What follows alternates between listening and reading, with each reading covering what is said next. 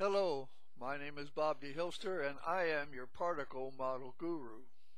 The particle model has three basic particles which will be used to describe the all kinds of events from gravity, light, magnetism, electrostatics, circuits, and even chemistry. Today I'm going to talk about the interaction of these particles with particles or other objects. The first I'm going to talk about is the nucleon. The one event that is pretty clear concerning the nucleon is the atomic bomb. When atomic bomb goes off, initially we get a flash of light, and this is just the G1 particle coming in high intensity towards you and towards and, and in all directions a flash of light the second thing we can see and although you probably see this more in the animations is the uh, is a wave of destruction that moves from the atomic blast outward again in all directions. What this is is the nucleon moving at not high speed, but high enough such that as it meets an object, it literally smashes things to pieces. And uh, this, the, the nucleon is, is, uh, is often used in particle accelerators where they're used to smash atoms, sending pro, what they call protons and neutrons into a target and smashing them. That's an interaction we don't like, but it's there and it happens. Then I'm going to talk about the interaction of the uh, G1 and the G2 particle. Now, the, these interactions are very similar, so I'm going to first cover them in a, in a similar way. And again, there are three main interactions that these particles have with other particles. There are a couple of others that we can talk about, but they'll come up when the time is needed. These three will be repeated over and over again as I describe gravity, light, and etc. The three interactions are simply this. The particle can pass through, it can bounce off, or it can get trapped by the object that it's passing through. So let's talk about passing through. Uh, light passing through a, a mirror and pass through glass, pretty obvious. We can see light passing through that. In the particle model, light is a stream of G1 particles with a specific wavelength or random wavelengths for white light. It enters the uh, glass, passes through the glass, and it leaves the glass.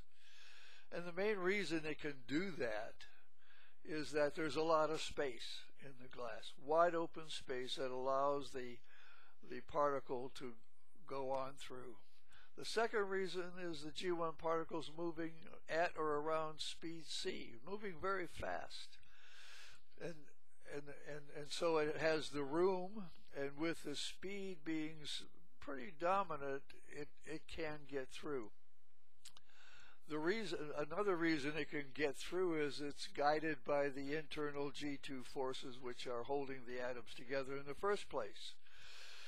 Uh, these G2 forces hold atoms in a certain position. So the light can actually pass through an atom at high speed. It can pass between the atoms, but between the atoms is a force field holding the atoms together and guiding the G1 particle through. Much like an asteroid is guided through our solar system or through our galaxy. G1 particles and G2 particles can pass through objects because of the space and because they're being guided through. The second interaction is bouncing off. A particle can bounce off an object, and we see that clearly in mirrors. Uh, light hits our face, the face image scatters to the mirror and bounces off the mirror. Actually, light is bouncing off my face, although I call it scattering because it sends a wide a wide image and it, it reflects off a mirror. These effects are bouncing, where the G1 particle bounces off the G1 or it bounces off the nucleon. G2 particle bounces off another G2, but ironically it passes through the G1 or the nucleon. When it does that, that sets up the method for G2 to be the second gravity. So light can bounce off of other particles. The third one is that it can be trapped. Now, by being trapped, I mean uh, the G1 particle can enter an object and then orbit an atom or a molecule. And I've already discussed how G1 particles orbit. If it enters an atom or a molecule at the right speed, the right direction, with the right distance, it will orbit. I call that being trapped by. It can be trapped by. Now you now you might say, oh well, wait a minute, Bob. The atom can only have so many electrons. In level one, it's two, and then it's eight, and then it's something else. It has to have each one of these levels.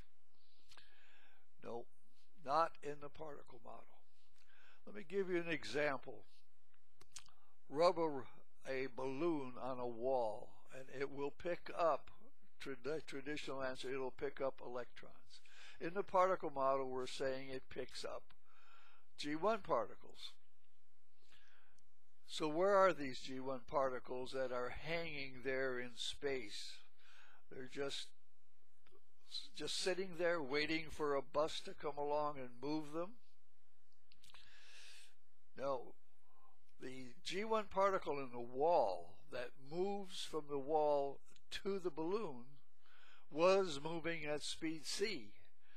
If for some reason, a mechanical reason, it's broken loose and it leaves that atom, it's moving at speed c. It enters the balloon, and because of the material of the balloon, you have this possibility that it has the right speed, it has the right direction, and it's the right distance, and it will orbit.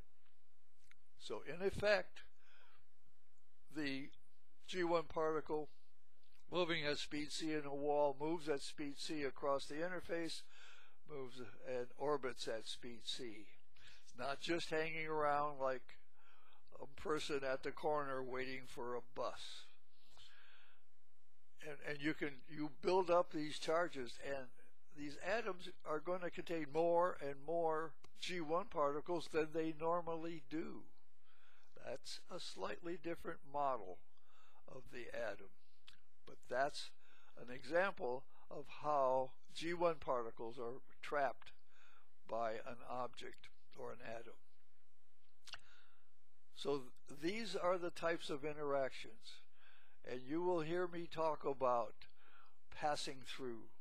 You will hear me talk about an atom, a G1 particle, as in a circuit, for example, going through a resistor, hitting an atom and scattering and bouncing off and reducing the flow of G1s through the circuit. You will hear me talk about mirrors bouncing. You will hear me uh, talk about electrostatic charge that builds up in a glass rod. These happen all the time. And this is a good foundation for understanding particle to particle interaction. My name is Bob de Hilster and I am your particle model guru. Please tune in next time when I will explain how the particle model can explain the universe Thank you for your attention.